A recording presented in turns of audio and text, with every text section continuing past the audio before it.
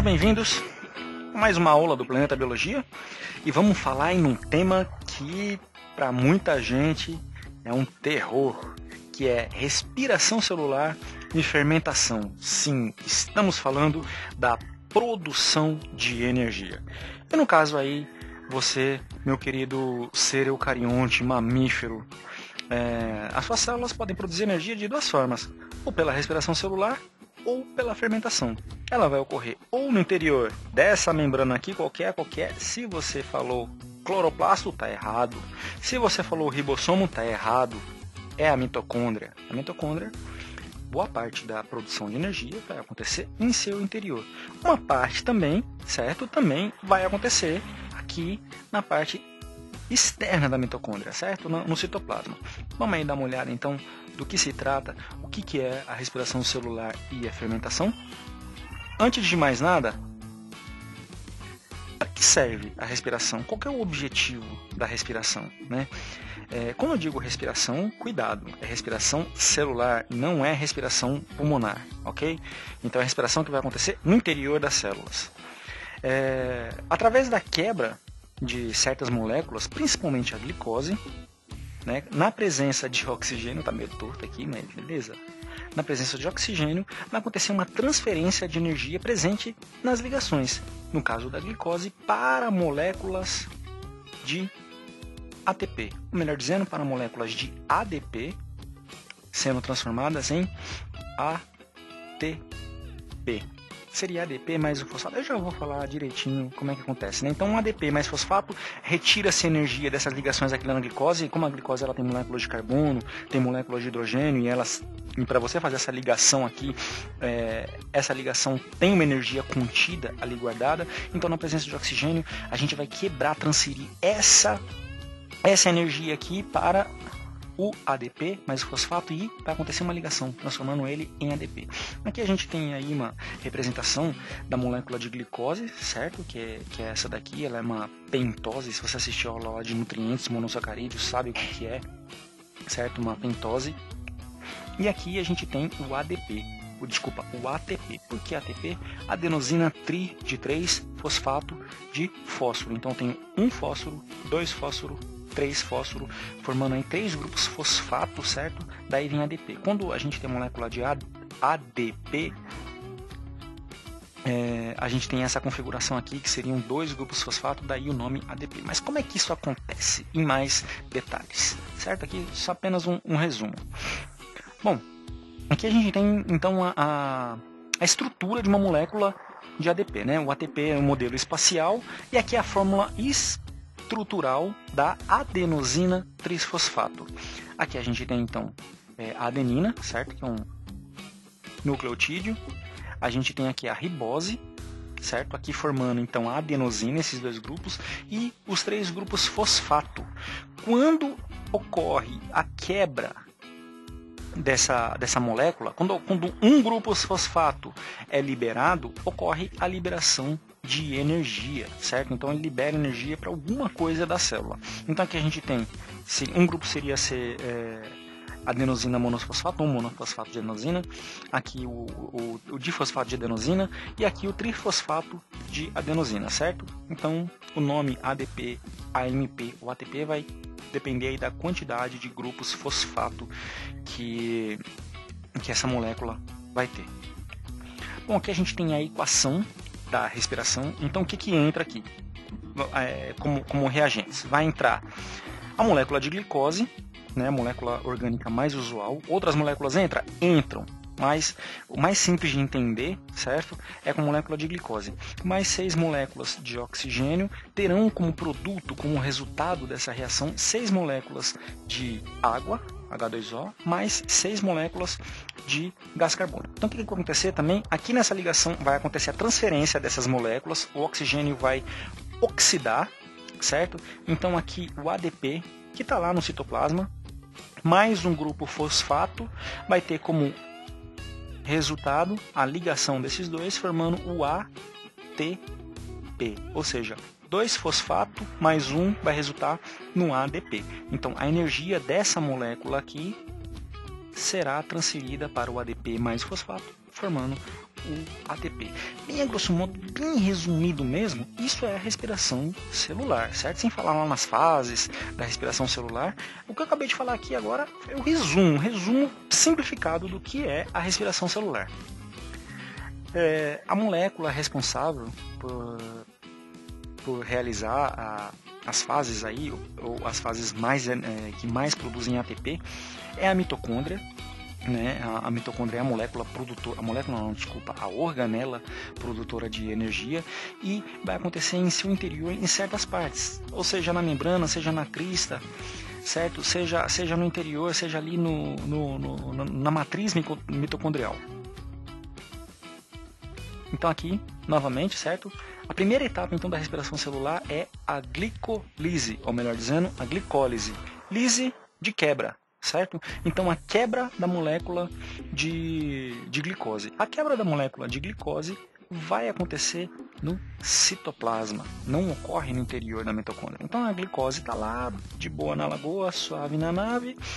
É, quando ela é quebrada, certo? Uma molécula de, de, de desculpa, quando uma molécula de glicose é quebrada, para ela ser quebrada ela vai precisar de duas moléculas de ATP, duas moléculas. Essas moléculas, né, quando, como elas vão liberar energia, vai virar duas moléculas de ATP. Depois de duas moléculas de ATP, aconteceu a quebra, a gente vai ter aqui, então, os grupos fosfato, certo? Dois grupos fosfato liberado. A gente tem aqui também o NAD+, que vai formar o NADH, o NADH, depois com mais outros grupos fosfato, em, em uma das linhas, em uma das cadeias, é, dois ADPs vão ser transformados em dois ATPs e dois ADPs em outra cadeia vai ser formado em, em dois ATPs. Observa aqui ó, que ao, ao se quebrar, a gente vai ter duas cadeias reagente, certo? Com a molécula de gliceraldeído 3-fosfato. É um nome bom para você xingar alguém que tá com raiva, meu filho. Xinga que aproveita você decora, certo?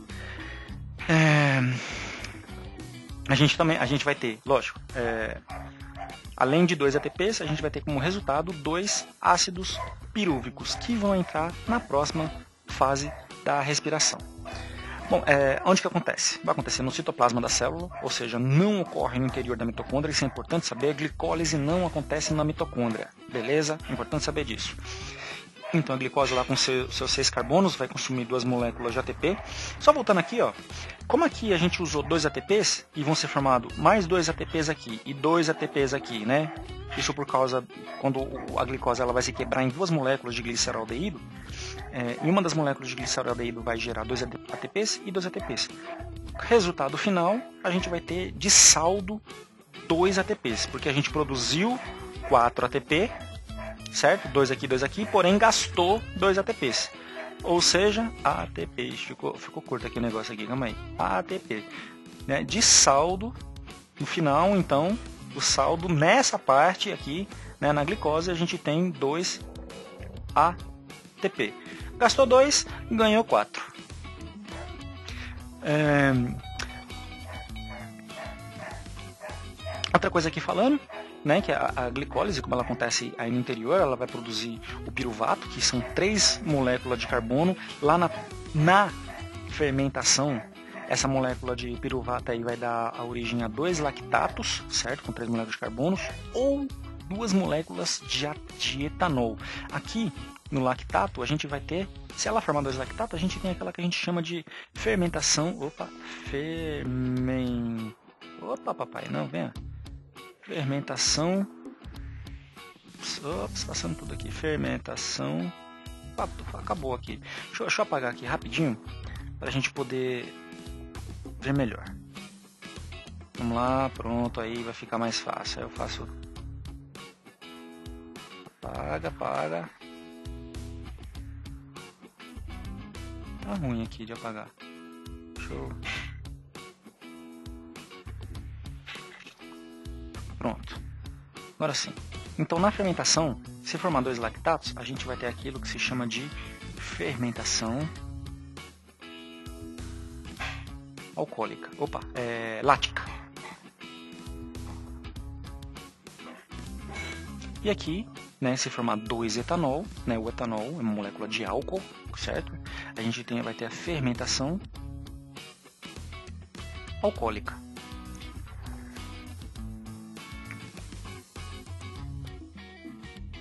É... Ok? Então isso daqui tudo vai acontecer no, no citoplasma sem O2. Sem O2, certo? Isso aqui tudo sem O2, né? Tudo no citoplasma. Essa fase aqui, ops, uh, fazer a volta aqui é difícil desenhar com mouse, mas vamos lá. Ao contrário, com a presença de oxigênio no interior da mitocôndria, a gente vai passar para a próxima fase. Então, se ela estiver aqui no citoplasma, acabou aqui, a gente tem a fermentação.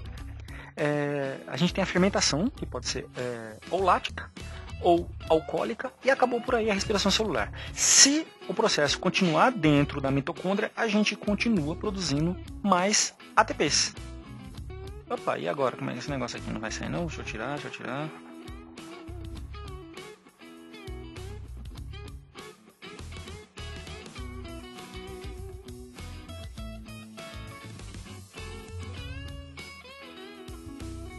De brincadeira.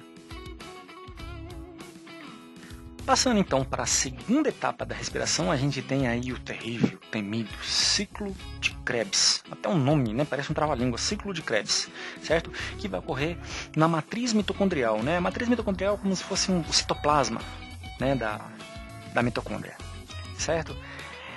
Então o que aconteceu? Aqueles dois piruvatos originários lá da fermentação certo? Da, da fermentação, não, desculpa, da glicólise, da glicólise, vão entrar agora em um ciclo, certo? Junto com moléculas de acetilcoenzima A, com NAD, e a liberação de gás carbônico e NADH, a gente vai ter todo esse ciclo aí, a formação da acetilcoenzima A, certo? O ácido cítrico, o isocitrato, entrando aí de novo o NADH, formando aí CH2O, é todo esse ciclo aqui, aqui também formando é, ATP, certo? GTP em ATP.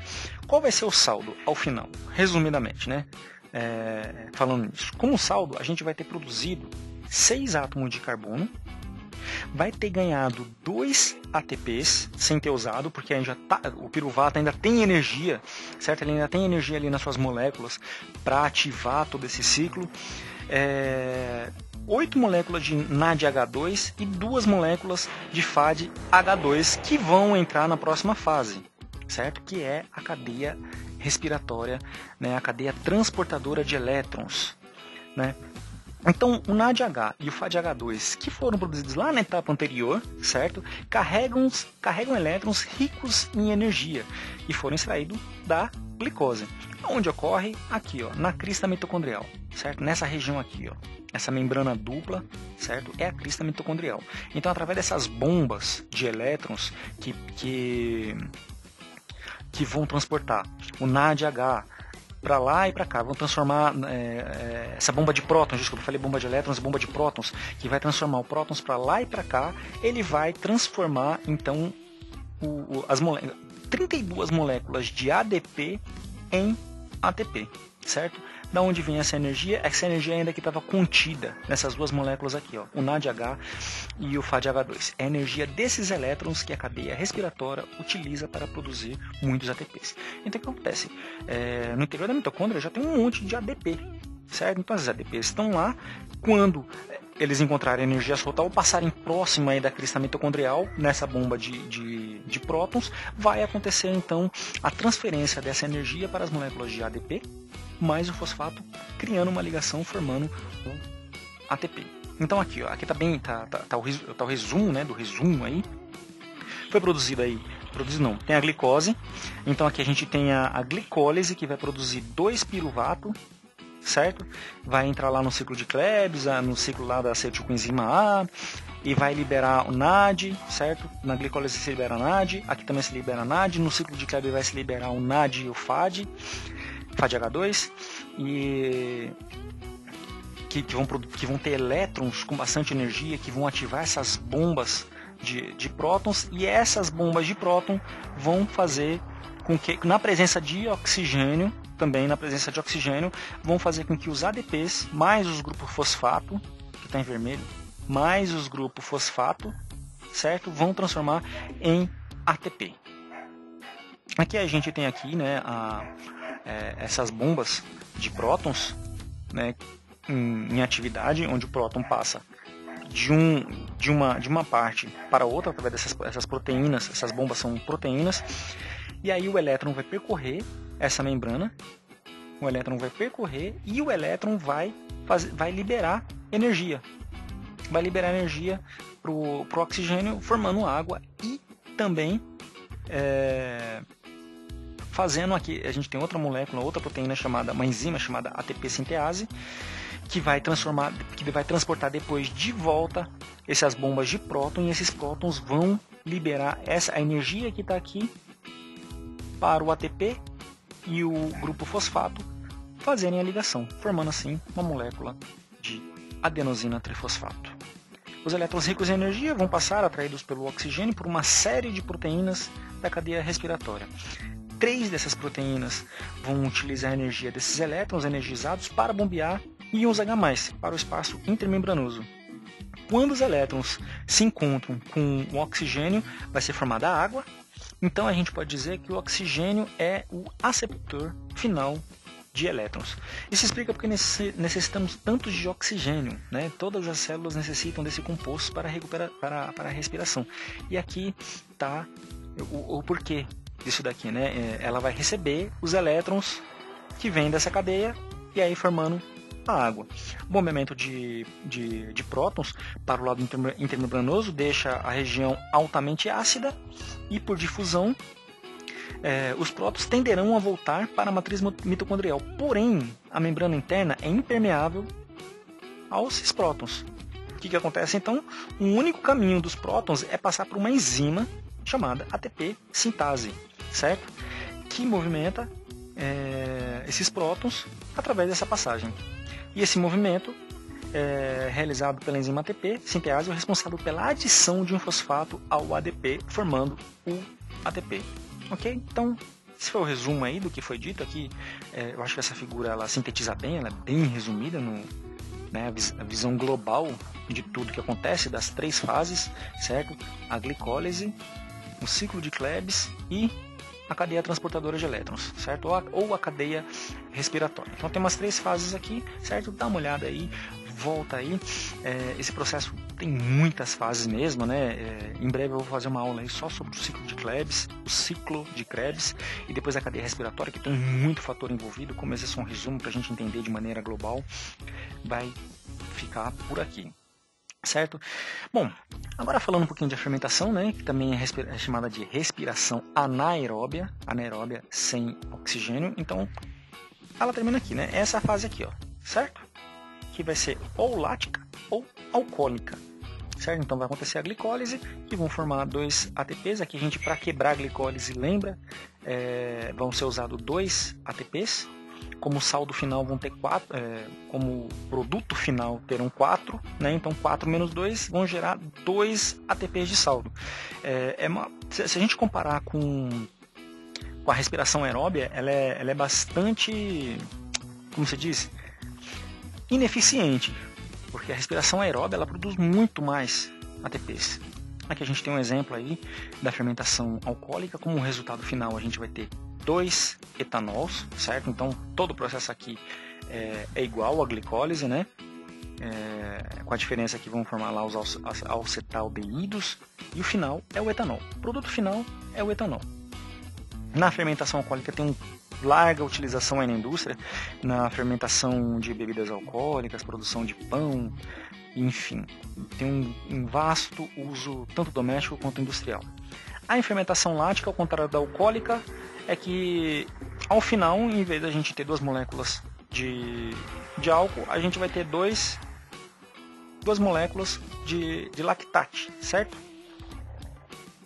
Na fermentação láctica também a gente também é bastante usado, né? No, o ácido lático é, para produzir ácido lático a partir da lactose para formação para produção de queijo, para para a produção de iogurte, é, esse é o tipo de fermentação que nós, seres humanos, usamos. A gente não faz fermentação alcoólica, a gente faz fermentação lática, certo? Quando, é, quando a respiração sozinha, quando a respiração anaeróbia sozinha não é capaz de produzir toda a energia.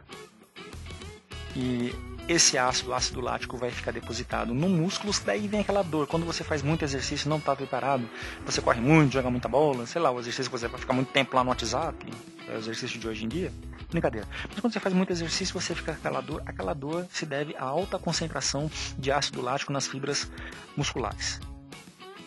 É, voltando aqui, as fibras musculares são células que necessitam constantemente de, de O2 para realizar sua função de, de contração. Os músculos eles realizam é, contração e realizar contração consome muita energia, então as células musculares elas também têm uma grande concentração de mitocôndrias, já que eles precisam de energia, então eles precisam de muita mitocôndria, né? Mitocôndria produz o quê? ATP. Durante a atividade física prolongada, a quantidade de O2 que chega às fibras é limitada, ou seja, não chega oxigênio suficiente e aí o que vai acontecer? A gente não vai ter a respiração anaeróbia. Né? Para continuar gerando ATP musculares, é, as células musculares, desculpa, realizam é, em condições anaeróbias, realizam produção de ATP em condições sem oxigênio. Ou seja, a fermentação lática, certo? A respiração anaeróbia. Né, da fermentação lática, a gente tem a glicose gerando como saldo. Eu sempre falo a palavra saldo né? Porque saldo é o que. É, é, qual foi o lucro de ATP? Você gastou 2 ATPs, gerou 4, né? Se você gastou 2, teve como resultado final 4, seu saldo é de 2 ATPs. Ou seja, não é muito eficiente, né? O excesso de ácido lático nos tecidos musculares, como eu já disse, pode causar vários problemas, como fadiga muscular e cãibra. E era isso aí. Bom, galera, é, dá um, dá um trabalho aí fazer esses slides aí. Se você puder dar um joinha aí, beleza? É, quiser ver outras aulas aí, aperta as notificações. Se você estiver no YouTube, fica mais ou menos por aqui. Se você estiver no site, vai lá no YouTube, clica o negócio que está mais ou menos aqui, ó, falando para você assinar no vídeo, mais ou menos nessa região aqui. Assine aí nosso canal, curte aí se você gostou. Se você tiver alguma dúvida, deixa seus comentários. E vou ficando por aqui. Até a próxima aula e fica ligado que em breve eu vou, vou postar uma aula para aprofundar nesse assunto sobre o ciclo de, que, de, de Krebs, o nome infeliz. É, mas para isso, você tem que assinar o canal, cara, se você quiser saber, certo? Então é isso aí, mano. É nóis que heróis, suave na nave, falou, valeus, tchau.